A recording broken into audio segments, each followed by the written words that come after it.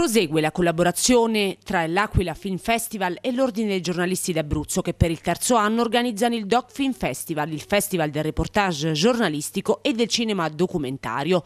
L'obiettivo della terza edizione è esplorare le zone di intersezione tra il lavoro giornalistico e quello documentaristico.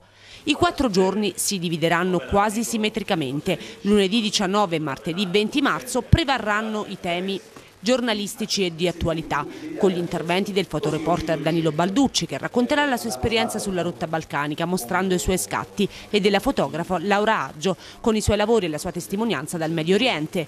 Il tema caldo dell'accoglienza dei migranti invece sarà affrontato in una conferenza alla quale parteciperanno le realtà locali aquilane e quella romana di Baobab Experience per un confronto sulle problematiche comuni alle quali interverrà anche l'assessore comunale Bignotti. Seguirà la proiezione del documentario Human Flow dell'artista dissidente cinese Ai Weiwei, già presentato all'ultimo Festival del Cinema di Venezia.